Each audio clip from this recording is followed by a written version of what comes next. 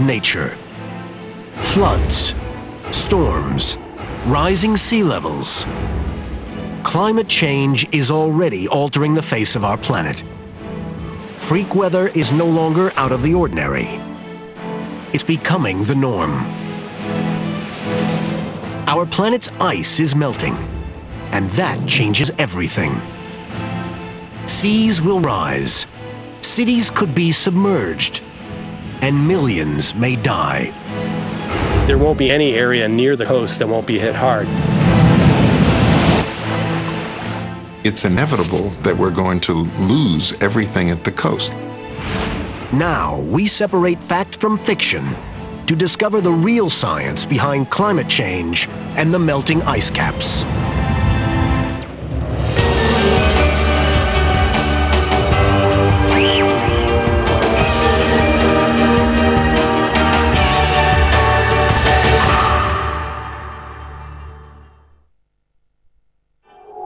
Global warming. It's a term we hear all the time. But behind the familiar words is a frightening reality. Our planet is warming up, and the effect on Earth's ice caps is catastrophic. As temperatures go up, the ice is melting. Sea levels are beginning to rise. Around the world, ocean levels are increasing twice as fast as they were 150 years ago. In 2005, 77 cubic miles of ice from Greenland and Antarctica melted into the sea. For comparison, the city of Los Angeles uses about one cubic mile of fresh water per year. This is global meltdown. In 2001, scientists predicted that sea levels would rise by three feet by the end of the century. That's a big rise, enough to affect more than 100 million people worldwide. But now researchers like Bill McGuire, professor of geohazards, worry that the predictions might be wrong.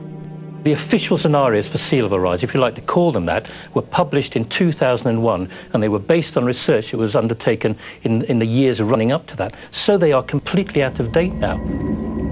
Even conservative estimates predicted that over the next 60 years, rising seas would destroy a quarter of all the houses within 500 feet of America's coast.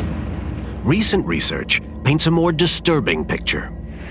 Sea levels could rise as much as 20 feet by the end of the century.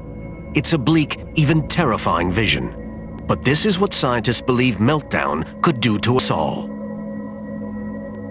To understand what will happen when the ice melts, scientists need to study the processes driving the meltdown. Advanced modern technologies can reveal our planet's ancient history.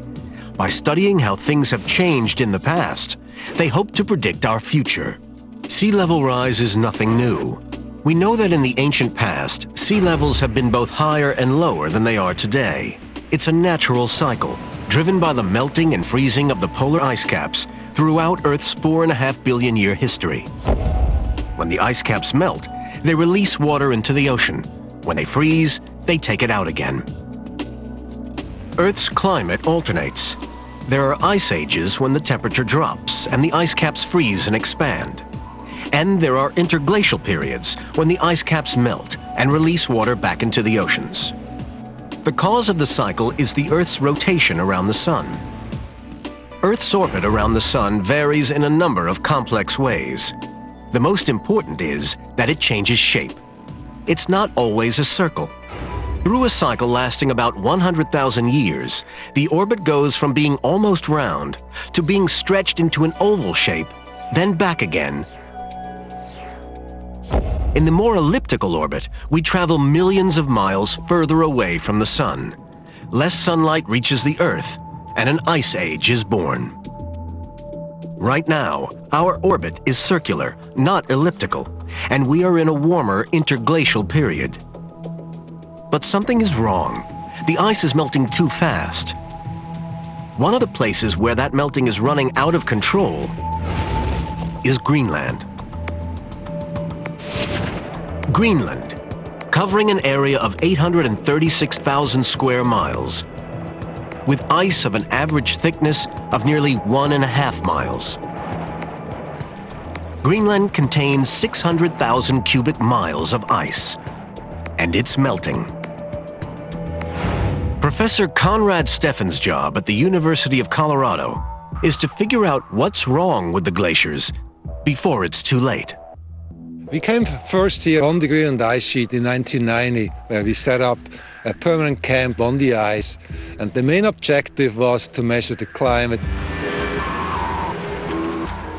Each year, Steffen treks across Greenland, checking his remote weather stations.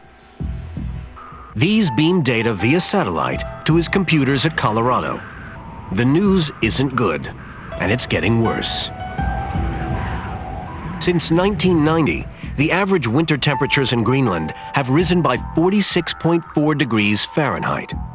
The Greenland ice sheet loses 275 billion gallons of water every 40 hours as icebergs crash into the Atlantic. Ten years ago, the melting rate was just a third of this. At Jakobshavn in western Greenland, scientists have tracked the movement of this glacier's edge since records began in 1850. Over the past 150 years, the edge has retreated 37 miles. That's bad. But what's worse is that the retreat is getting faster. The glacier is now disappearing twice as fast as it was five years ago. Every day, this glacier pushes icebergs into the ocean that is sufficient to give fresh water used for the town of New York for one year. Almost all the glaciers in Greenland that are south of the Arctic Circle have speeded up their discharges into the ocean. Glacier melting is nothing unusual. Their edges melt all the time, but normally the ice they lose at the edges is balanced by the amount of snow that falls on top. The snow compacts into new ice, so the glacier grows in the higher regions and melts at the edge. Scientists call this mass balance glaciers gain as much ice as they lose. This natural balance keeps the ice cap stable and sea level rise in check. For the past 10,000 years, that's how it's been.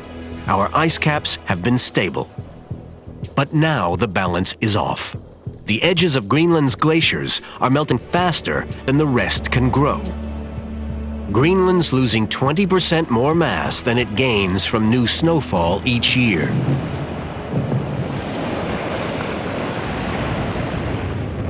If this continues, as the balance shows, we are losing more mass. And this is what we actually discovered. This is happening right now. We are losing currently about 50 cubic miles. Can this be sustained? No. If it continues like this, Greenland ice sheet will lose mass every year by a certain amount, and the sea level will rise.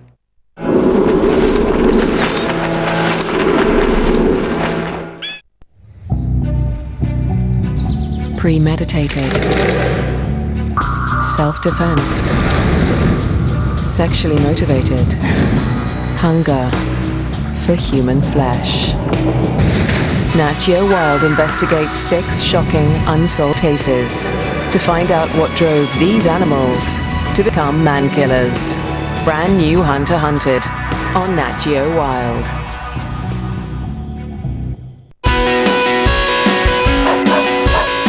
the brand new series of Animal Inspectors. If it weren't for these guys, a lot more waifs and strays would be roaming the streets. They're Auckland's Boys in Blue, the emergency service to those animals who've lost their way, reuniting lost pets with their owners and giving the more unfortunate ones a second chance for a better life. Animal Inspectors, part of Animal SOS on Nat Geo Wild. They're coming and multiplying at phenomenal rates. These alien killers inhabit the most unlikely places and grow stronger in numbers. Mankind must intervene before their fellow predators are wiped out by their very existence.